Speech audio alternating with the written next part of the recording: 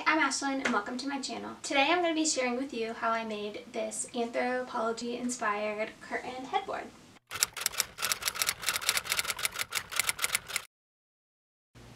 I used to have an orange curtain hanging behind my bed but decided I wanted something a little bit more neutral so that's when I decided to make this Anthropologie DIY. So I went and bought two curtains from TJ Maxx. I'm going to be using this kind of pizza cutter roller thing that my mom uses for embroidery but you can easily use scissors and so I am just going to cut all of my curtains into strips.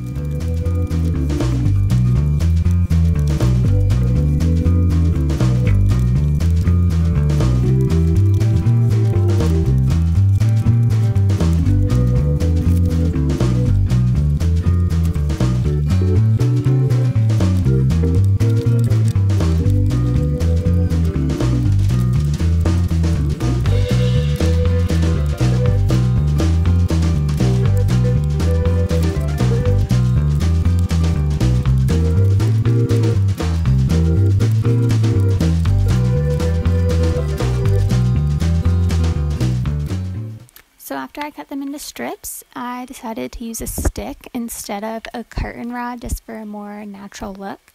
So I just looped them onto the stick. Since I already had an orange curtain up with lights behind it, I already had lights hung up, but you can easily put up lights. I used icicle lights with some command hooks. And then I took my orange curtain down and put this one up.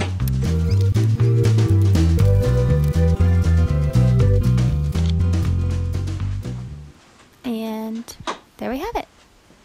I hope you enjoyed this tutorial, and if you're interested in seeing more videos from me, go ahead and click the subscribe button.